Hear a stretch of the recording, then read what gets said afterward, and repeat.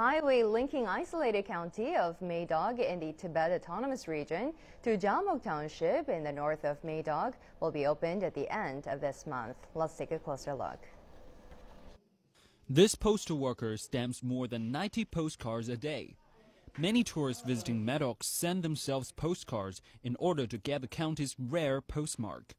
It shows they made it to the isolated county of Medog in the southeast of Tibet without a highway.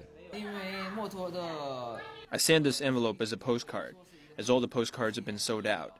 Medog's postmark is meaningful because it's very hard to get here. When the post office of Medog County first opened in 2008, it took a month to send a mail to Beijing. But now, the postal car travels from Beijing to Medog once a week.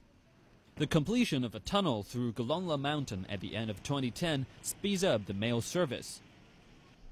Besides the post office, residents in Medog also have access to a faster postal option called Express.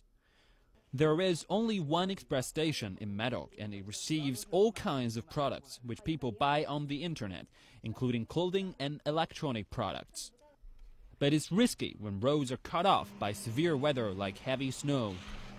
For the couple who own this express station, the new highway to Medog will mean a better future for their business.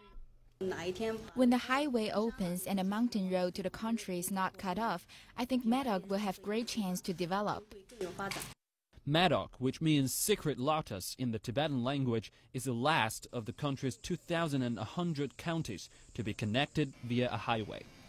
Zhang Yilei, CCTV.